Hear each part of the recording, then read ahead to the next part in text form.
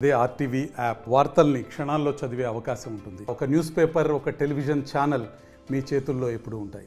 ఈ పత్రికా విలేకరుల సమావేశానికి వచ్చేసిన నా విలేకరుల సోదరులందరికీ కూడా పేరు పేరున నమస్కరించుకుంటూ అలాగే నా పార్టీ వైఎస్ఆర్ కాంగ్రెస్ పార్టీ శ్రేణులు ముఖ్య నాయకులు పెద్దలు అందరికీ కూడా పేరు పేరున ధన్యవాదాలు తెలుపుతూ ప్రతిపక్ష పార్టీలు అనైతిక కలయిక ఏదైతే ఉందో తెలుగుదేశం జనసేన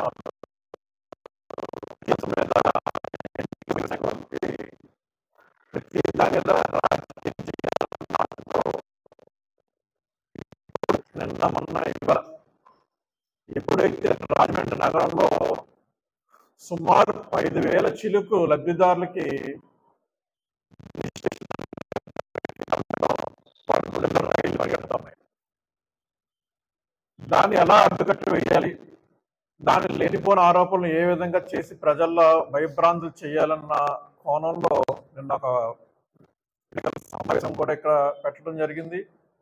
దాని కంటిన్యూషన్గా ఇవాళ మళ్ళీ మున్సిపల్ కార్పొరేషన్ ఆఫీస్లో అధికారుల మీద దాడి చేస్తూ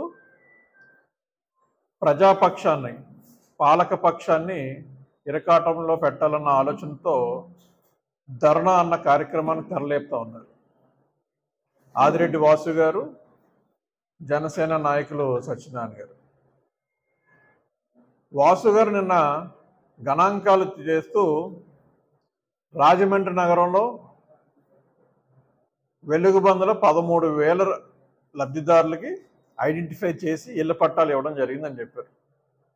సంతోషం. ఒప్పుకున్నారు కదా? పదమూడు వేల మందికి లబ్ధిదారులకి ఒక గ్రామంలో మేము పంపిణీ చేయడం జరిగింది. అందులో పదివేల మందికి పట్టాలు శాంక్షన్ చేసి డిస్బర్స్ చేయడం జరిగిందని కూడా ఆయన మాటలతోనే చెప్పడం జరిగింది.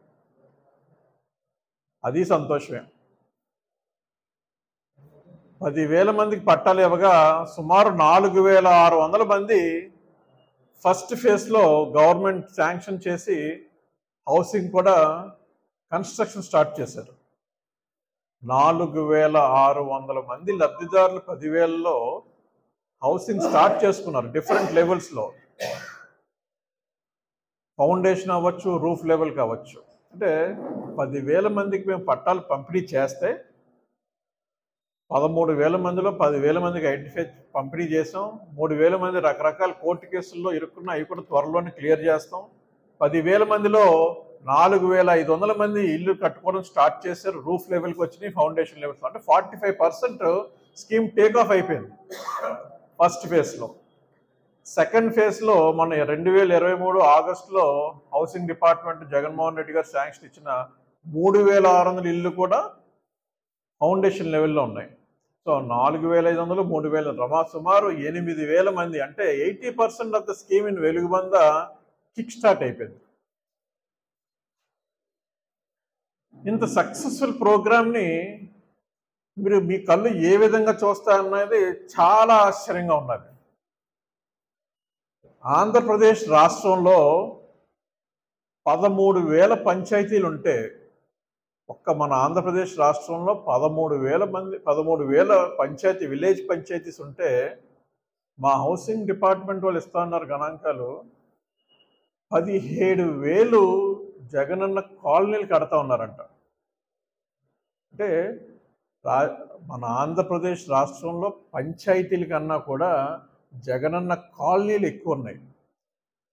ఇంత మెగా ప్రాజెక్ట్ని టూ ఇయర్స్ కరోనాలో కూడా ఇబ్బందులు పడుతున్నా సరే ఏ ప్రక్రియ ఆగకుండా ఫోర్ అండ్ హాఫ్ ఇయర్స్లో ఈ స్టేజ్కి తీసుకొచ్చారు ముప్పై మూడు లక్షల మంది లబ్ధిదారులను ఐడెంటిఫై చేసి వాళ్ళకి ఇళ్ళ పట్టాలు ఇచ్చి పదిహేడు పదిహేను లక్షల మందికి హౌసింగ్ స్కీమ్ కూడా స్టార్టింగ్ అంటే హౌసెస్ కన్స్ట్రక్షన్ చేయడం కూడా స్టార్ట్ చేశాం. ముప్పై మూడు లక్షల రూపాయలు ముప్పై మూడు లక్షలు ఇళ్ళ పట్టాలు ఇచ్చాం పదిహేను లక్షల ఇల్లులు కూడా కట్టడం మొదలుపెట్టాం. ఇంత పెద్ద సంక్షేమ కార్యక్రమం ఆంధ్రప్రదేశ్ రాష్ట్రంలో సక్సెస్ఫుల్గా జరుగుతుంటే మీరు ఏ విధంగా ఇది స్కామ్ అని సంబోధించాడు? ఆదిరెడ్డి వాసు గారు మాట్లాడుతూ విలేకరుల సమావేశంలో ఇది హౌసింగ్ స్కీమ్ కాదు ఇది స్కామ్ అంట. అంటే పదిహేను లక్షల మంది ఇల్లు కట్టుకుంటుంటే మీకు స్కామ్ కింద కనబడ్డది. ముప్పై మూడు లక్షల మందికి ఇంటి ఓనర్స్గా చేస్తే రాష్ట్ర ప్రభుత్వం మీకు స్కామ్ కింద కనబడ్డది. ఎందుకంటే మీకు మీ బాబుకి అంటే చంద్రబాబుకి అన్నీ స్కామ్లే కాబట్టి మీ కళ్ళు అలాగే లబ్ధిదారుడి విషయంలో కూడా స్కామే కనబడుతుంది మీకు. రియాలిటీకి వెళ్తే ఏంటంటే ఆడపడుచులు అందరూ కూడా జగన్మోహన్ రెడ్డి మమ్మల్ని ముఖ్యమంత్రి గారు ఒక ఇంటి వాడిని చేశారన్న ఆలోచనతో ఆనందంగా ఉన్నారు వాళ్ళందరూ. ఎప్పుడు ఎన్నికలు వస్తాయా? ఈ ముప్పై మూడు లక్షల లబ్ధిదారులు ఇంటి కుటుంబాన్ని ముప్పై ముగ్గురు నలుగురు నేసుకున్న కోటి మంది ఏకదాటిగా వచ్చి జగన్మోహన్ రెడ్డిని బలపరిచే సందర్భం త్వరలోనే మీరు చెబుతా ఉన్నారు కదా నెలన్నరలో ఎన్నికలు వస్తున్నాయని. ఎస్ నెలన్నరలో వాళ్ళందరూ కూడా వచ్చి మాకు మద్దతు తెలిపే ప్రయత్నానికి తెరలేపుతా ఉన్నారు. మీరు ఎక్కడికైనా వెళ్ళి ధర్నా చేసుకోండి ఏదైనా చేసుకోండి. మీరు మరొక అంశం ఎత్తుతూ పదకొండు గంటలకి ఆడవాన్ని పిలుస్తూ రిజిస్ట్రేషన్ చేస్తున్నారు.